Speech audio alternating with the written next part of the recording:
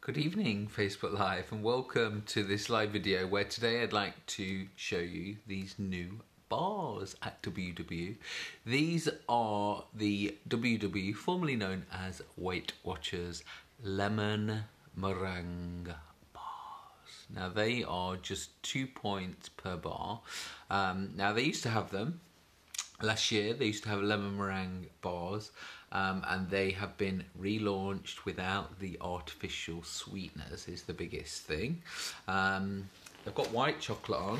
We're going to open one. I'm going to show you what they look like. So first of all, there is five bars in the box. So five of these in this box. And when you open it up, if you've had them out there, please let us know what you think. When you open up, it's like crispy, oaty, nice bits on the top. On the bottom, you have this lovely white chocolate. So that's white chocolate at the bottom there.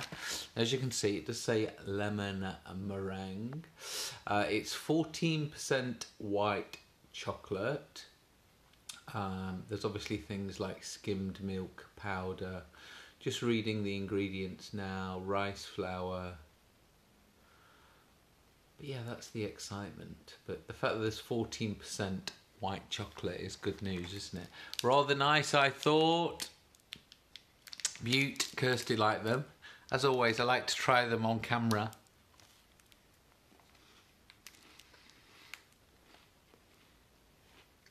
Two points per bar.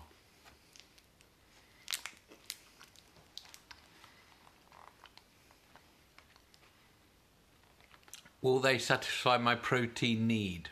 No. Let me read.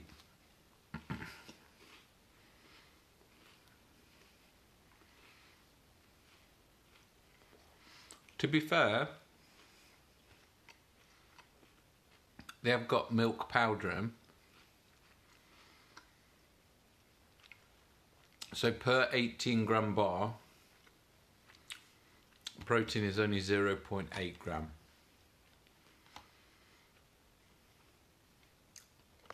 So there's not much, there's a tiny little bit of protein in there, but if you did have it with something proteiny, that would be great.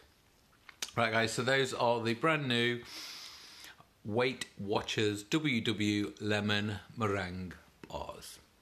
You can find them at all the local WW studios. Good night. I'm going to put the box away. Bye.